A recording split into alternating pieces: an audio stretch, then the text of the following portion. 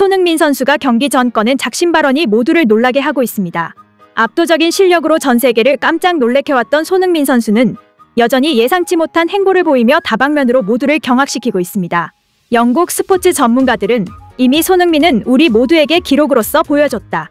손흥민은 더 이상 무언가를 증명할 필요가 없는 선수. 라고 말하며 그는 이미 레전드 선수이자 슈퍼스타이고 EPL 역사에 길이 남을 대기록을 무수히 많이 써내려간 전설적인 선수라고 언급했습니다. 그렇기에 이번에 손흥민 선수가 경기에 들어가기 전 꺼낸 말은 모두의 심금을 울리기에 충분했던 듯 싶은데요. 해당 소식을 들은 전 세계 축구 팬들은 이제 진짜 축구 월드 클래스의 품위이자 기품이구나 라며 가지각색의 반응을 보이고 있습니다. 손흥민 선수는 그저 자신의 신념을 전했을 뿐인데 또다시 전 세계를 떠들썩하게 만들었습니다.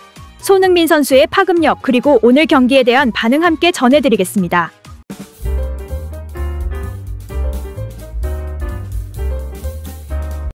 손흥민 선수가 한국 시간 24일 영국 공영방송 BBC와의 인터뷰에서 꺼낸 내용이 전 세계 축구 팬들을 눈물 짓게 만들고 있습니다.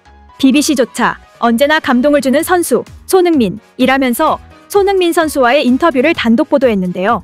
해당 인터뷰 속 손흥민 선수는 그 어떤 때보다 빛나는 눈을 하고 있었습니다. BBC는 자타공인 레전드 손흥민이 최근 레스터시티와 개막전 이후 무지성 혹평이 쏟아지고 있다. 그러나 손흥민은 반짝이는 눈으로 흔들리지 않은 꼿꼿한 자세로 자신의 축구에 대한 열망을 비췄다. 라며 손흥민 선수와의 일문일답을 실었습니다. 특히나 BBC는 레전드인 선수가 단 한 경기에서만이라도 삐끗한 모습을 보였을 때 특히나 손흥민 선수에게 많은 비판이 쏟아지는 경향이 있다고도 꼬집었는데요. BBC는 손흥민을 비판할 수 있는 것은 당연하지만 단 한 경기만으로 지금까지 손흥민 선수가 일궈냈던 모든 커리어를 비난받고 평가절하 당하는 것은 너무 과도한 일. 이라면서 다분히 인종차별적인 시선이라고도 지적했습니다. BBC 인터뷰에서 손흥민 선수는 팀 주장이라는 건 책임감이 정말 크다. 훌륭한 선수들과 뛰는 건 즐겁고 전 여전히 배우고 있다. 난 감독 결정을 전적으로 따를 것이다. 감독이 골키퍼로 뛰어라고 지시한다면 골키퍼로 뛸 수도 있다. 라며 되려 모든 상황을 받아들이고 발전할 각오를 보였는데요. 그리고 이는 다시금 전 세계 축구 팬들의 마음을 여울지게 만들었습니다.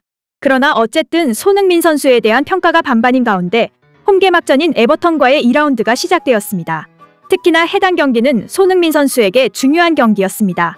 홈 경기에서 공격 포인트를 올리며 토트넘 첫 승에 기여한다면 모든 비판은 잠잠해질 것이기 때문입니다. 한편 경기를 앞두고 토트넘의 악재가 생겼습니다.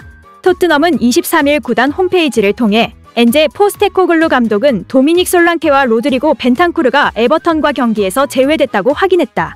솔랑케는 시즌 첫 경기인 레스터시티와 개막전에서 발목 부상을 당해 이번 경기에서 출전하지 못한다. 라고 공식 발표한 것입니다.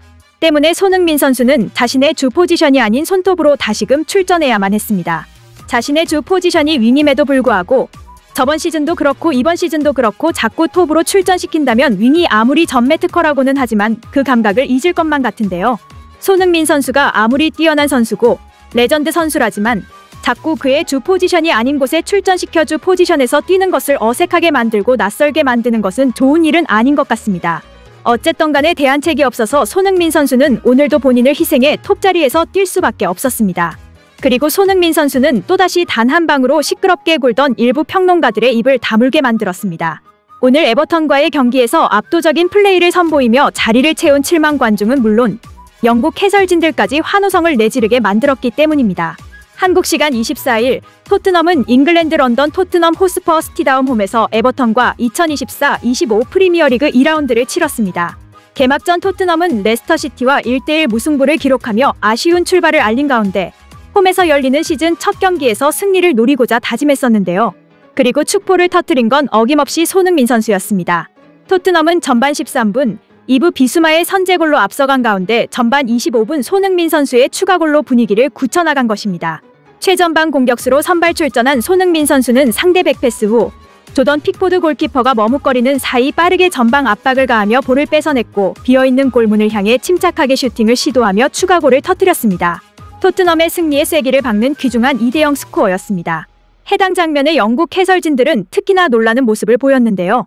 조던 픽포드 골키퍼가 바로 영국의 국가대표 골키퍼였기 때문입니다. 해설진들은 손흥민이 프리미어리그 1호 골을 달성했다. 영국 국가대표팀 골키퍼 조던 픽포드의 허점을 노리며 시즌 1호 골을 뽑아냈다. 손흥민의 관록과 특유의 스프린트가 빛난 득점이었다. 라고 감탄했습니다. 실제로도 해설진들은 손흥민 선수가 날카로운 통찰력으로 픽포드의 스타일을 꿰뚫어 꽂아 넣은 골에 환호성을 내질렀는데요. 해당 장면에서 해설진들은 소니, 소니 어디로 가는 거죠? 왼쪽, 맞아요. 왼쪽입니다. 픽포드, 소니에게 완전히 간파당했군요. 소니 행동을 좀 보세요. 마치 기다렸다는 듯 질주하고 있지 않습니까? 픽포드가 왼발 아웃사이드로 공을 제어할 것을 알고 있었던 것입니다. 바로 왼쪽으로 꺾는 소니 행동을 좀 보세요. 놀라운 판단력입니다. 라며 흥분을 가라앉히지 못하는 모습을 보이기도 했습니다.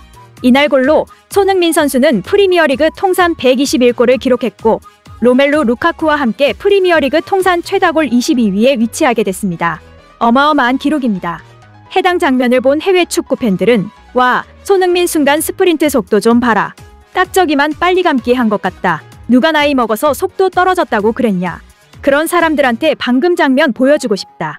무슨 말 하나 보고 싶네. 손흥민 픽포드 전용 깡패다. 예전에도 저런 비슷한 장면으로 손흥민한테 골 먹혔었던 것 같은데 5에서 6초쯤에 저런 순간 가속이 가능한 건 진짜 EPL은 물론 전 세계를 통틀었을 때도 손흥민이 유일하다. 와, 진짜 저렇게 성실하게 뛰는 거 대박이다. 손흥민 열정 대단하다. 압박 미쳤네. 저 때 관중들 사이에 있었는데 진짜 귀청 떨어지는 줄 알았다. 모든 관중이 손흥민 이름을 무슨 비명 지르듯 외쳤다. 진짜 터져나오는 함성이었다. 손흥민 인기 대단하더라. 손흥민은 제로백이 너무 좋은 것 같다. 누가 손흥민 못한다고? 지난 경기 꼴랑 하나 보고 손흥민 까내리던 애들은 반성해라.